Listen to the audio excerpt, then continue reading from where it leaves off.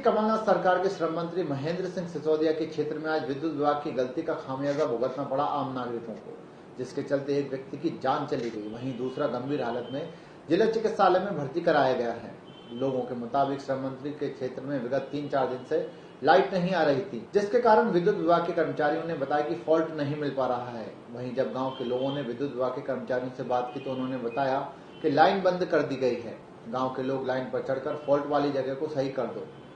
जिसके बाद गाँव के ही चार युवक खंबे पर चढ़कर लाइन सही करने जाने लगे। इतने में ही सबसे ऊपर चल रहे करंट लगने से मौत हो गई। वहीं दूसरा व्यक्ति भी करंट की चपेट में आने से गंभीर रूप से घायल हो गया, जिसे जिला चिकित्सालय में भर्ती कराया गया है। वहीं ग्रामीणों ने विद्युत कर्मचारियों से बात करने की रिकॉर्डिंग अपने मोबाइल में कैद कर कर रखी है, जिससे साफ़ ज़ाहिर होता है कि किस तरह से विद्युत कर्मियों की गलती की वजह से एक व्यक्ति की जान चली गई। वहीं आपको बता दें कि इस क्षेत्र में श्रम मंत्री महेंद्र सिंह सिसोदिया का खेत भी है। अब देखने लायक होगा कि जिला प्रशासन उक्त विद्युत कर्मियों के खिलाफ कोई ठोस कार्रवाई करता है, जिनकी वजह से निर्दोष व्यक्ति की जान चली गई। वहीं लोगों का कहना है कि इस तरह से आए दिन विद्युत कर्मचारी ग्रामीण लोगों से काम कराते रहते हैं, जिसके चलते शिकायत कई बार श्रम मंत्री से करने के बाद भी कोई सुनवाई नहीं होती।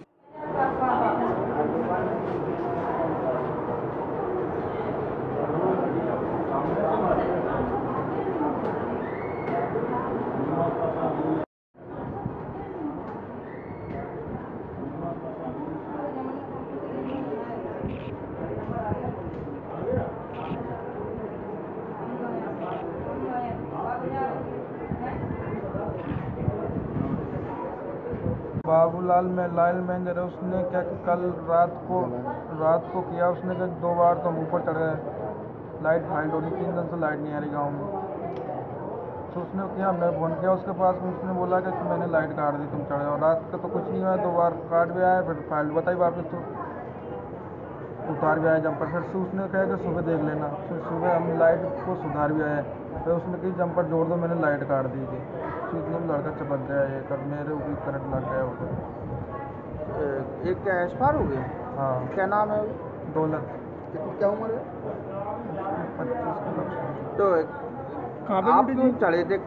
दो ही एक ही साथ चढ़ रहे थे। नहीं क्यों? आप थोड़ी आप सुधार रहे थे कि लाइनमैन नहीं आए? लाइन मैन ने बोला मैं मैंने लाइट कटवा दी कि तुम जोड़ दो गई क्यों जोड़ दो? काम तो उनका है।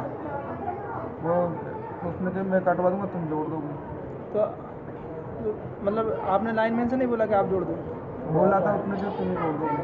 आता ही नहीं लाइन में आके दो दो तीन तीन वो तो। दिन हो गए मतलब आप गाँव वाले रिक्स लेके काम करते हो पूरा। नहीं गाँव वाले वो फ़ोन पे काट देता पहले। क्या? घटना बताया करो। घटना साहब तीन दिन पहले आंधी चली थी दो दिन पहले दो या तीन दिन हो गए आंधी चली थी उस लाइट फाल्ट थी उससे। तो लाइट फाल्ट थी हमने कल 12 बजे करीब फ़ोन लगाया बाबूलाल पे 12 बजे कल दिन में। तो बाबूलाल ने कहा हमसे कि लाइन तुम ही देख लो कोई दिक्कत नहीं तुम लाइन फाल्ट मिल जाए तो मुँह पे फ़ोन लगाना मैं लाइट कटवा के तुम्हारी लाइट चालू करवा दूँगा। बाबूलाल कौन है? लाइन मैन है। फिर? तो उसने कल हमने शाम की नौ बजे तक उसने वापस फ़ोन लगाया हमारे पास तो लाइट हमें फाल्ट नहीं मिली और वापस बाबूलाल को रिटर्न फ़ोन किया। कि चाचा अब रात हो गई बाबूलाल अंकल अभी रात हो गई अब फाल्ट नहीं मिली तो बाबूलाल बोला कि सुबह देखेंगे अब। तो ठीक है सुबह की हाँ कल ही बाबूलाल ने सुबह पर वापस फ़ोन लगाया तो बाबूलाल ने कहा कि देख लो गई तो आज सुबह? हाँ आज सुबह आज सुबह सात बजे के साढ़े सात के बीच की बात थी तो बाबूलाल ने कहा कोई दिक्कत नहीं आप चढ़ जाओ मैंने लाइट कटवा दी कोई परेशानी नहीं है आपको।